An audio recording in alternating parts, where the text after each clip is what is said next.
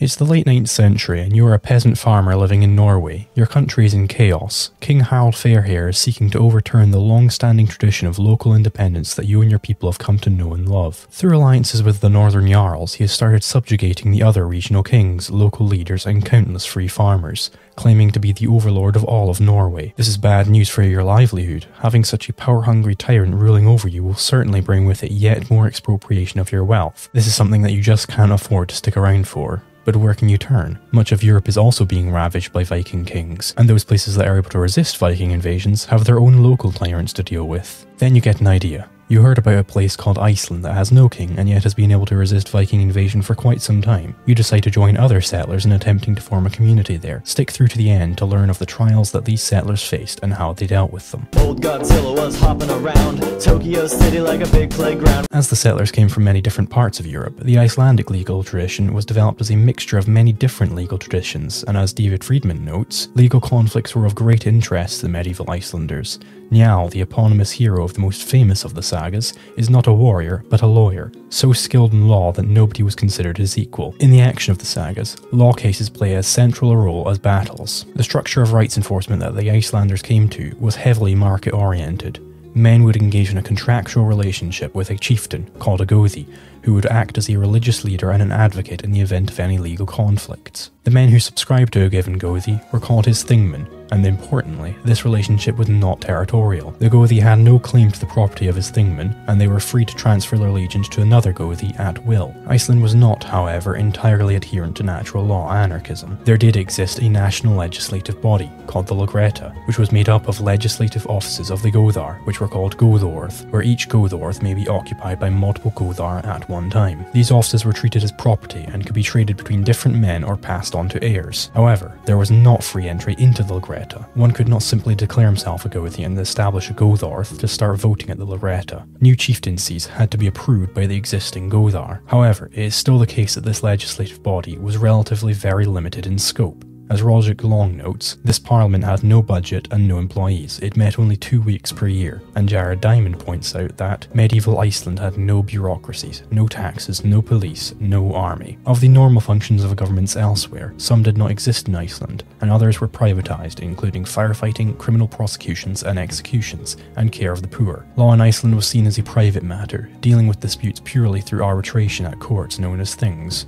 These things were either embedded in the official state structure or were set up privately by conflicting parties and their Gothar. So imbued were the Icelanders with the norms of conflict resolution through arbitration that they dealt with haunted houses in the same way, trying the ghost for trespassing in the confident expectation that, if found guilty, a good Icelandic ghost would respect the verdict of the court and peacefully depart. Old Godzilla was hopping around Tokyo City like a big playground. The provision of mutual aid in Iceland was in the form of the Hrepper, a small communal unit that acted to mitigate against many common threats facing the free farmers. The exact inner workings of the Hrepper is unknown, but we do know that they provided support for the poor and orphaned, insured against fire damage and loss of livestock due to disease, and potentially many of the other insurable threats that would face the people at this time. Gain entry into the Hrepper, a farmer would need the recommendation of a member, and once in, dues would have to be paid, similarly to the mutual aid that was developed in the United States far later. However, it does seem that once affiliated with the Hrepper, farmers were unable to change their affiliation to another at will, making it a less than ideal relationship. Old Godzilla was hopping around Tokyo City like a big playground. The system eventually broke down into civil warfare in the 11th century, thanks to a consolidation of power into the hands of five families. These families were able to attain regional monopolies, seizing much of the farmland and chieftaincies thus transforming into warring states. However, even with these new mini-states forming and coming to blows, the level of violence was fairly low, as Friedman notes. During more than 50 years of what the Icelanders themselves perceived as intolerably violent civil war, leading to the collapse of the traditional system, the average number of people killed or executed each year appears, on a per capita basis, to be roughly equal to the current rate of murder and non-negligent manslaughter in the United States. This level of violence was perceived by the Icelanders to be so intolerable that they invited King Haakon of Norway to govern them. But how exactly did this consolidation of power come into being? A major culprit is the introduction of the tithe in 1096, made possible due to the country's conversion to Christianity a century earlier. As Long explains, the tithe, used to pay church officials and maintain church buildings, was Iceland's first real tax. Previous taxes generally turn out on closer inspection to be voluntary exchanges of fees for service. Assessed at 1% of the payer's property, it was also Iceland's first graduated tax. Earlier fees were one size fits all, and so it took in much more revenue. And more importantly, the tithe lacked a competitive element. Recall the non territorial character of a chieftain's jurisdiction. A chieftain's temptations to self aggrandizement were kept in check by the knowledge that if he acquired delusions of grandeur or charged too high a price for his services, his clients could abandon him for a rival. The tithe was territorial, all those who lived in a vicinity of a particular church building had to pay for its upkeep and were not at liberty to transfer their support elsewhere. The catch is that the portion of the tithe revenue allocated to maintaining church buildings went not to official church hierarchy, but to the wealthy private owners, usually chieftains, of Staðir, churchsteads, i.e., plots of land on which the church has been built. The tithe was a property tax, but chieftaincies, though marketable commodities, were exempt, as were the churchsteads themselves, predominantly owned by the chieftains. The parliament that enacted the tithe was also, of course, composed entirely of chieftains. The tithe thus did more than just increase the income of the chieftains, it decoupled that income from accountability. Economic inequalities per se are not a serious threat to liberty,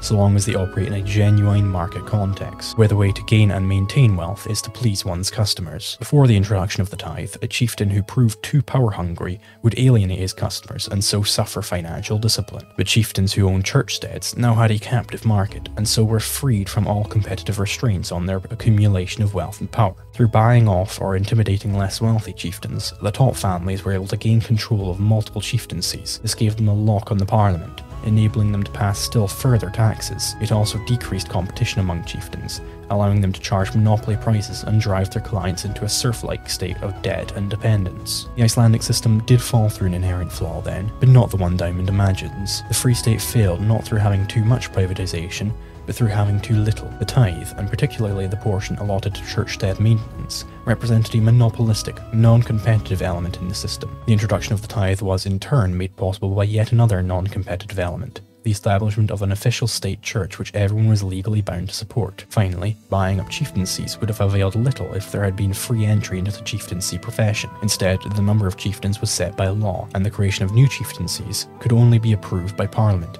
i.e., by the existing chieftains, who were naturally less than eager to encourage competitors. It is precisely those respects in which the Free State was least privatised and decentralised that led to its downfall, while its more privatised aspects delayed that downfall for three centuries. As Hoppe has explained, unlike firms in a free market who live or die by public demand, the state lives or dies by public opinion. In short, as the state is made up of a relatively far smaller subset of the population than those producers, homesteaders, and traders who are expropriated by the state, it relies on a state of favourable public opinion in order to continue its expropriation. Hoppe describes this as being analogous to the Marxist notion of class consciousness. That is, on the one hand, when the class consciousness of the expropriated class is low, their opinion of the exploitative methods of the state is that such exploitation is a good thing, or at least something that should not be actively resisted. And on the other hand, when class consciousness is high, public opinion is such that the criminal conduct of the state in its expropriation is something to be resisted. We may apply this analysis to medieval Iceland as a means to determine the root of its failure more fully. Initially, as the settlers in the 9th century set up the legal apparatus,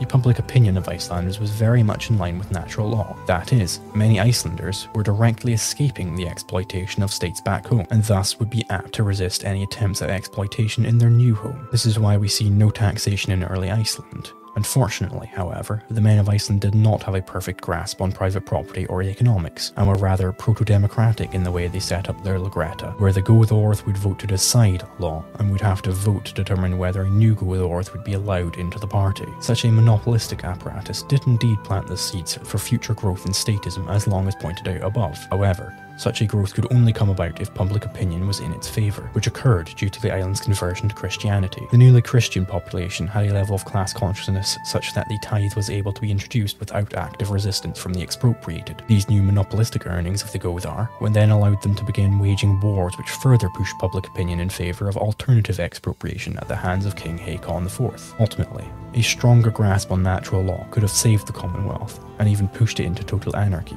Thus, I reiterate Long's point that it was specifically those aspects in which Iceland was statist that led to its eventual downfall. This video provides an example of failed minarchy. If you want to learn more about the failings of minarchy, you have to watch this video where I present critical challenges to minarchists. This will allow you to more deeply understand the topic at hand.